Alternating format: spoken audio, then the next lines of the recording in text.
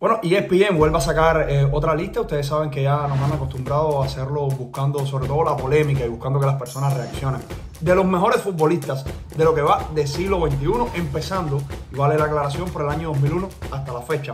En esta lista de 25, bueno, yo creo que primer y segundo lugar, eso no tiene mucha discusión, me parece correcto. Tanto Messi como Cristiano Ronaldo, lo pongas en el lugar que lo pongas.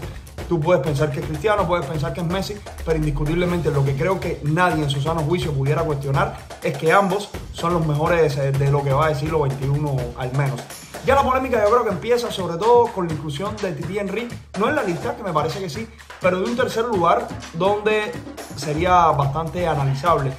Ahora, dentro de la lista de 10 que esté Kylian Mbappé, un jugador eh, que todavía ni siquiera ha demostrado lo que pudiera ser su momento prime, me parece que sobre todas las cosas que es buscando, uno, llamar la atención y dos, aprovechando ese momento trending que tiene el jugador francés. Jugadores como Luis Suárez, jugadores como Robert Lewandowski, me parece que son jugadores que son los mejores delanteros de esta generación, incluso Karim Benzema, muy para atrás. Y sobre todas las cosas, otro detalle bien importante, bastante lejos un portero. Cuando hay muchos porteros de calidad, no solamente Buffon que está en la lista, Iker Casillas, Neuer, o sea, son porteros de muchísima calidad. Hay otros que me podrías dejar en los comentarios.